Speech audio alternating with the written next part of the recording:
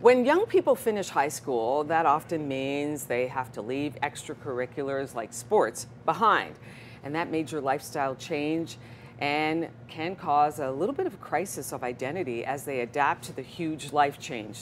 That's something my guest, Janine Charron, knows all too well. Janine Charron is a mindset and resiliency development coach for competitive athletes as well as a public speaker. And welcome to the show. Thank you for having me. I'm It's so excited great to be here. have you here. Okay, so Janine, as I understand it, you played hockey at the NCAA level. Yes, uh, University of New Hampshire. Okay. Yep. And then done after after university. So I went on to play in the National Women's Hockey League for a bit, and then um, backpacked around Europe for a bit, and life took on its other course. But yes, that was my playing career. You had to adjust, Yes. right? And what was that like for you? Was it difficult? Well, a lot of my work is around transitions, Mm-hmm. and for me, um, I recognize sometimes when I was playing at the University of New Hampshire, some people were stressed, and, and I could see them in their head a lot more. But I was always this happy-go-lucky person. Okay. So it didn't really hit me till after when you kind of are like.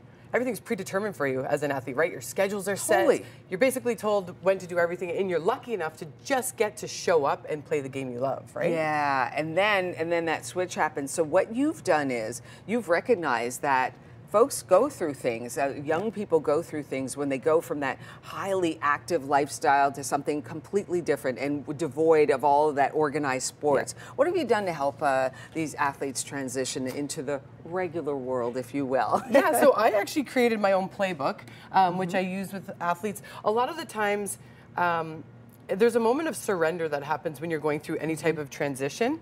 And that's probably the toughest part for athletes. Our identity is so wrapped around our sport and our identity as that athlete. But sports, the biggest message that I want any athlete to know is your sport is what you do, it's not who you Okay. are.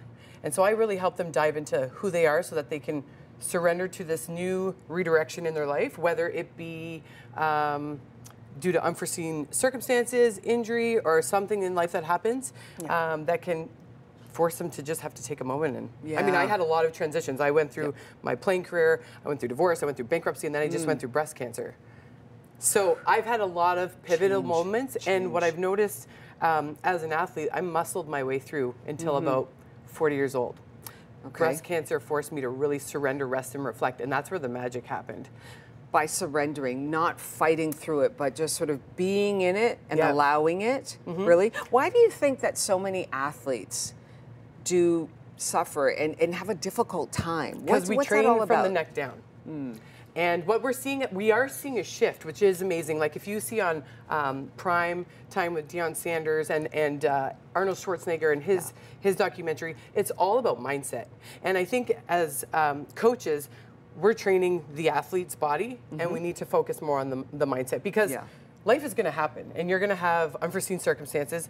But if we can teach that resiliency at a young Yeah. age, and if we can teach you that you are not your sport, there's so much more to who you are. You- Yeah. So, uh, in terms of so some examples, um, helping kids find other interests.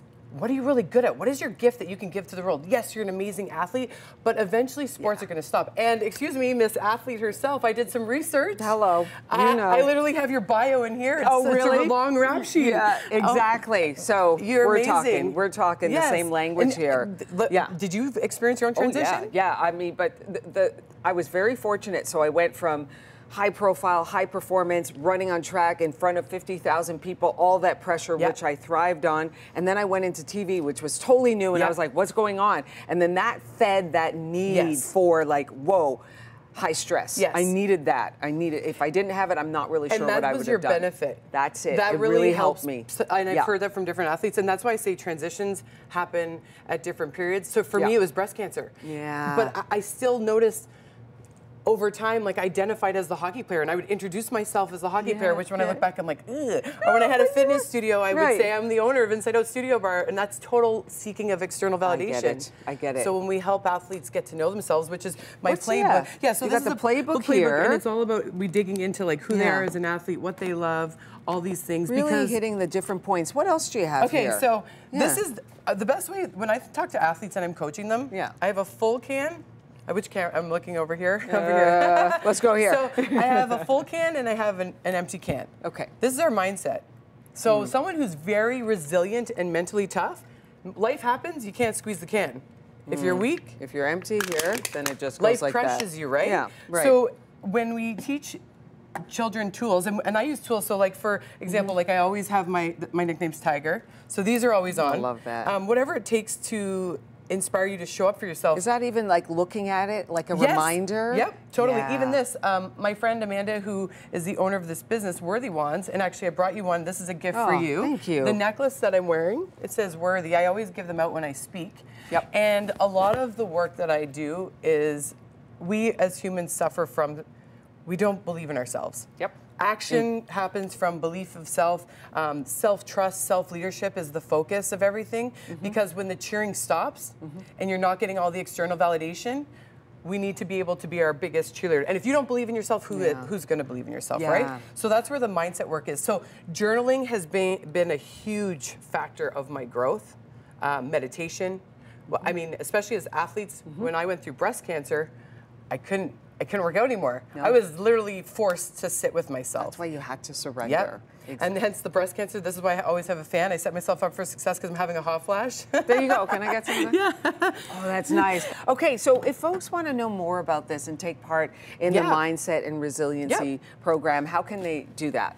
yeah, well, I mean, I have my website, janinecharron.com. Um, my cell phone, it's all over social media. It's no, it's there's no secret. You can reach me anywhere, um, and it's really important too. Scheduling, like life after sports. Yeah. I brought my phone because we have a smartphone. My husband's always like, Janine, I'm I'm, I'm archaic. I'm pen to paper. So that's really, good.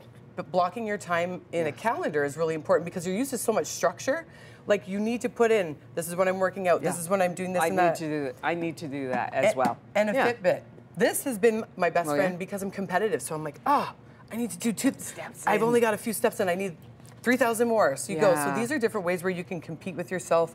You can learn to um, dig in. You've got your external validation, There you go. your reminders. I really am glad that you came on, and I'm so glad to hear how you have adapted. You have taken adversity and turned it into a, a benefit using up here. Janine Charron, author and speaker. Once again, if we want some more information, we can go to. Not an author yet. Oh, a writer. a writer, a writer. This is. I am looking I like to how write you a said that yet. That means a book is Yes, coming. there there you go. And the website again?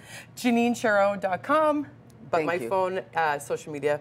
Thank you. anywhere. Thank you for and coming I think on. if you are struggling, just know that you're not alone. Like I have No. interviews on my YouTube with NHL Not players, alone. and they're all sharing their experiences. You're so- absolutely right. Thank yeah, you, Janine. Yeah, no problem.